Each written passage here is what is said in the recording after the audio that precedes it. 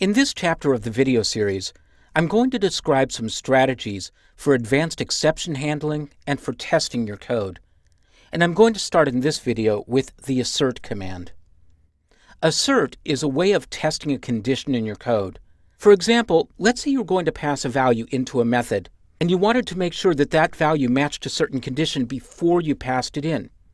You could assert that condition. You create the assert command and then place the condition after it. And if the assert is false, it'll throw an exception. You can't depend on asserts for real functionality in your application. They're only for testing when you're coding. And that's because asserts can be disabled. In fact, they only work when you add a certain command line value after the call to the virtual machine.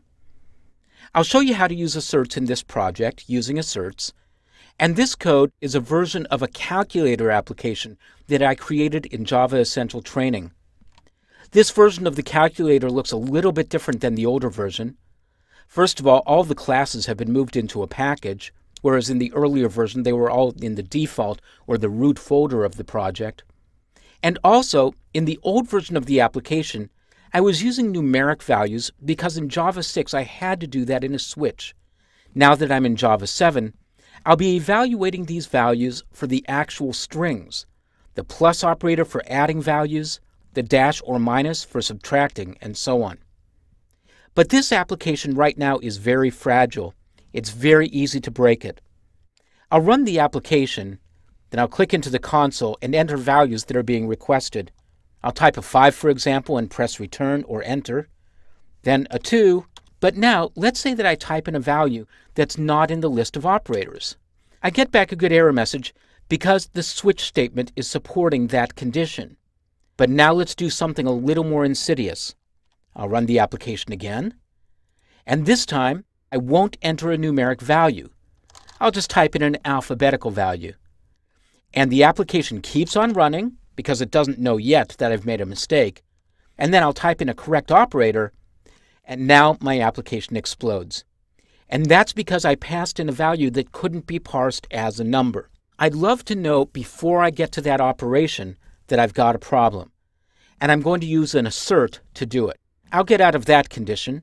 I'll press Ctrl F2 to terminate the application.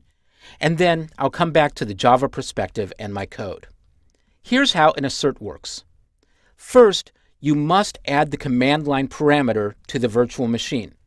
I'll go up to my debug button and I'll pull down the list of available configurations, and then I'll select Debug Configurations. I'm going to use the same Java application configuration that I already have. I'll click into the Arguments tab and then into the VM Arguments panel. And I'll type in the argument "-ea". That's the argument that says Support Asserts. Then I'll close. I'll save my changes and then, just to show how an assert works, I'm going to type the word assert as the first command of the application and pass the value false.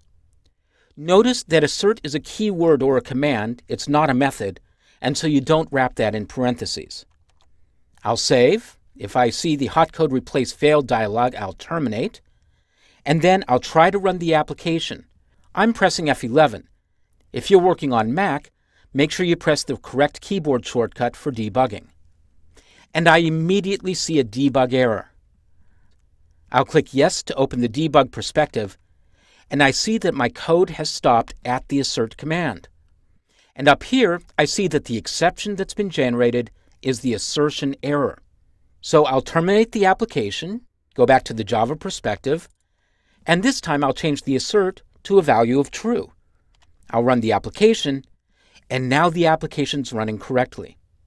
An assert throws an exception when the expression returns false. So once you know that, it gets pretty easy to write your own asserts.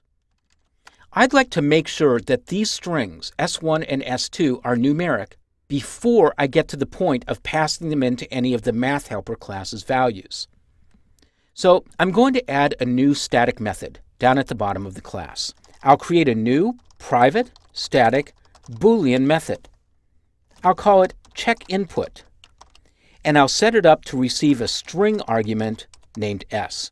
Within the method, I'll use a try-catch block. Inside the try method, I'll use integer.parseInt. The parseInt method returns a value, but I'm not interested in the return. I'm only interested in knowing whether this is going to work, and I'll pass in the s argument. If I correctly execute that command without throwing an exception, I'll return true. That means I was able to successfully parse this string and turn it into an int. Now I'll go down to my catch section, I'll remove the to-do comment, and here I'll return false.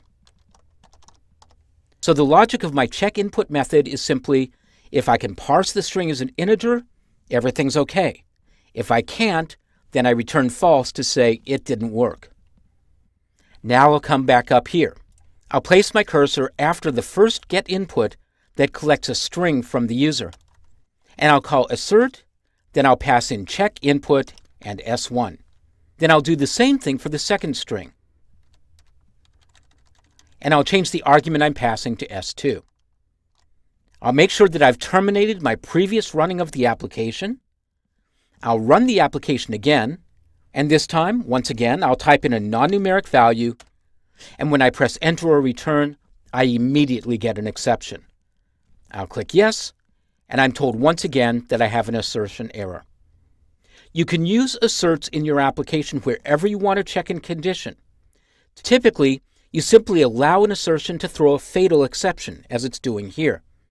That allows you as the developer to debug and detect the condition that could kill your application at runtime.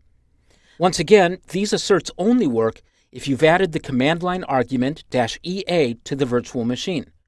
But they're invaluable for detecting these conditions while you're coding.